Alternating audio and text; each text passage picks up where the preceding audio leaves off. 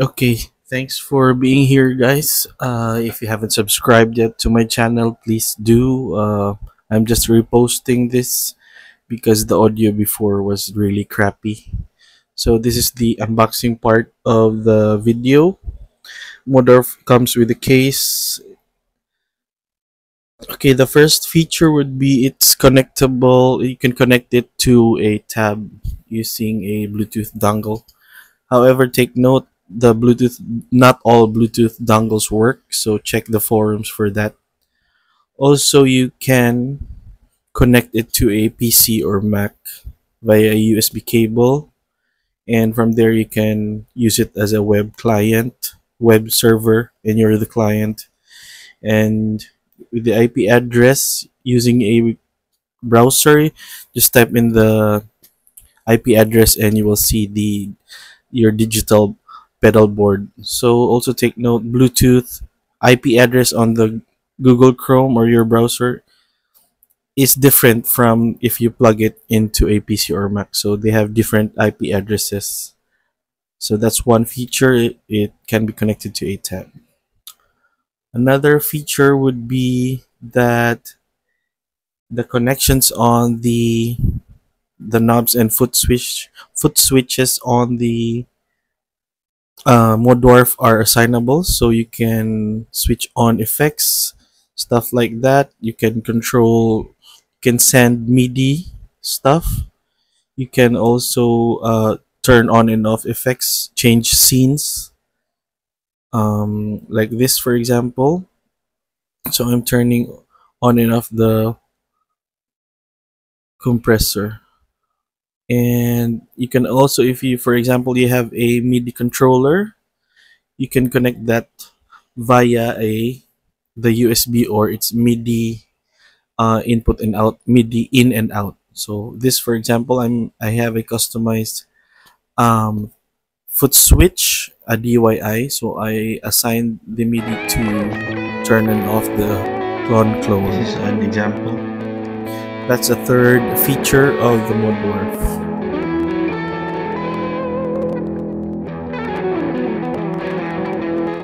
So as I've said before, the uh, Mod Dwarf has scenes or snapshots that you can turn um, that is actually you can have a lot of snapshots wherein specific gain levels uh, EQs are set.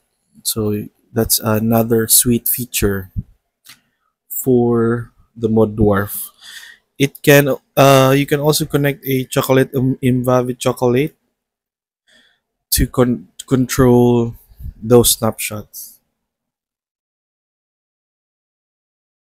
and it also actually sends MIDI through so in this example the Tonex I was turning on and off the Tonex I mean switching patches on the Tonex. Here I just changed snap snapshots including the Tonix. Okay, another feature would be Mindi. This is a plugin inside the uh, virtual pedal board. You can actually send MIDI via this uh, plugin, which can be controlled using snapshots, which is cool.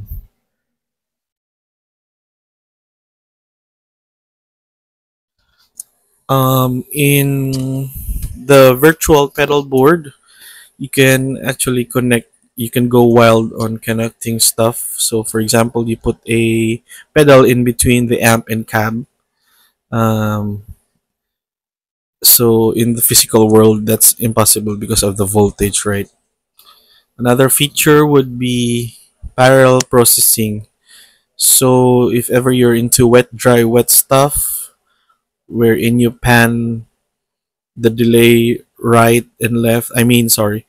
If you mix delay and reverb, they are processed parallel and then you mix them in a mixer. Um, this is also achievable in the Mod Dwarf. So here, the delay and reverbs are mixed in a mixer. So both of them are stereo. So I pan them, the output left and right. So that is parallel processing. Another cool trick here is there's a phase inverter inside the mod dwarf. So for example, you want a signal to be phase inverted, you can do that. However, this plugin is still in beta. Another great feature is that the mod dwarf has convolution reverbs, which is a high intensive, uh, high CPU intensive uh, thing to do. Convolution reverb.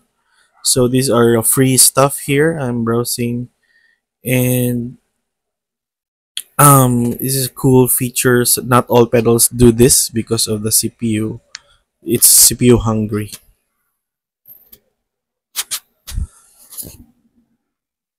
Um, so typical, there's a looper inside the mod dwarf, also a looperative looper. Feature 11, the input and output specs, which is great. You have two inputs and two outputs. So there are LED clipping markers whenever, if ever you are clipping from the input side and the output side. And the outputs uh, are balanced, so you can get it stra straight to front of house. Cool thing here is if you've seen some of my videos, I'm playing some uh, waves, bird sounds from this plugin. Also, you can mix that in your uh, music and synthesizers are as well um, are available in the mod dwarf.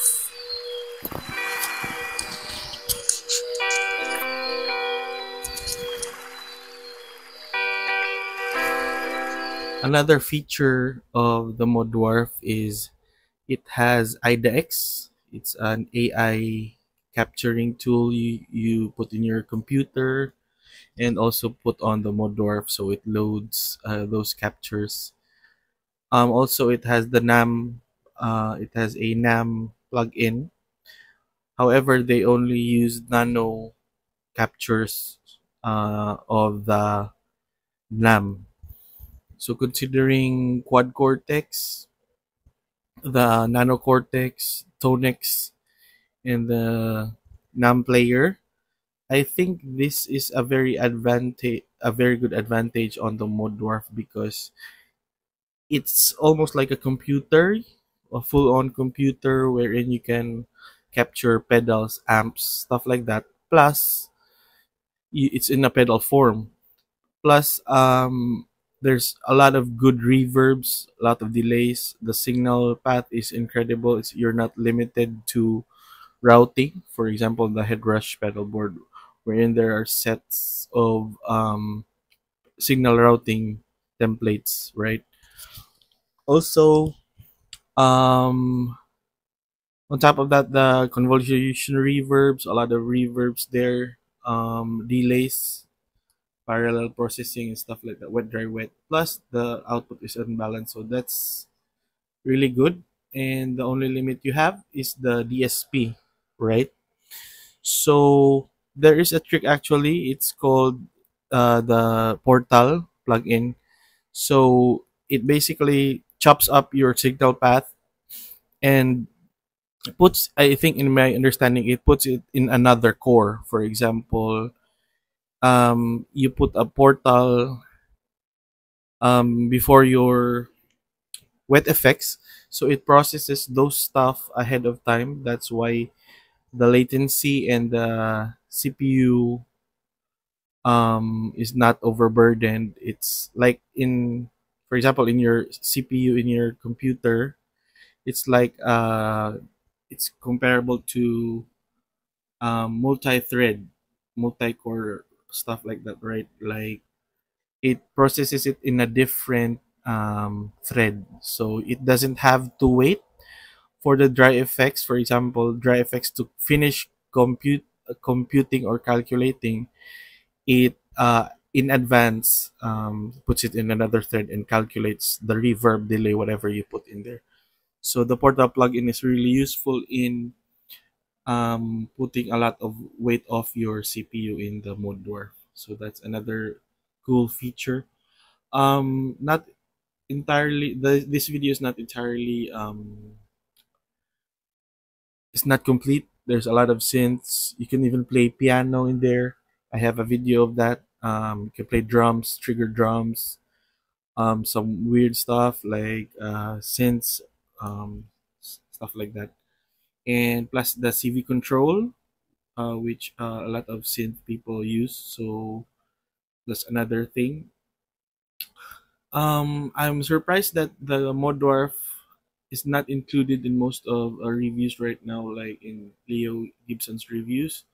However, if you put it in uh, in terms of money, actually the Mod Dwarf is a really good um, challenger to Nanocortex, to Kemper Player, to Tonex, as it can provide a lot of functionality like hardware capturing, um, AI, NAM player, stuff like that. Uh, very good amp sims, good reverbs and good delays, uh, unlimited possibilities on routing, signal routing.